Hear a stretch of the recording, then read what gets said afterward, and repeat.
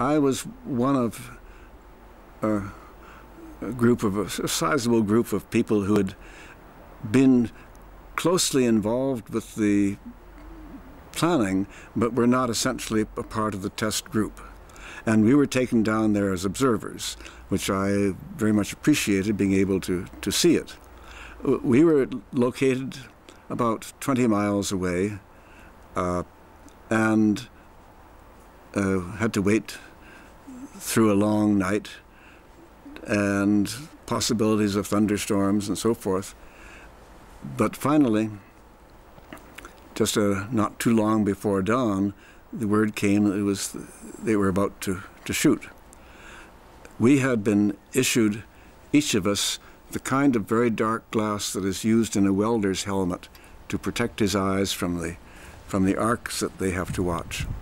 We've been issued that glass which you use sometimes to look at an eclipse of the sun, to hold in front of our eyes if we wanted to look at it. So we did that and looked in the direction and suddenly became aware that there was all around us, uh, there was a tremendous illumination and you could see this speck of brilliance out in the distance, which then grew into a into the familiar fireball that people have seen in pictures. And uh, this fireball then gradually engulfed other materials uh, and uh, became kind of orangey red. And then finally, and you could see as it dimmed that the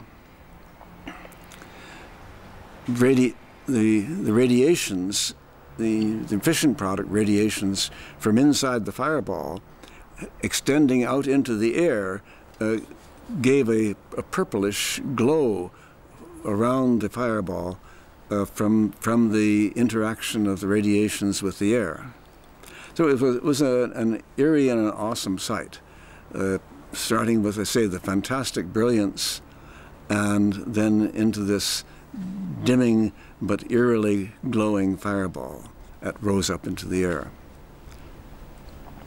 It was enough, it gave enough of an impression to me that I made it clear to myself I didn't want to get any closer to atomic bombs.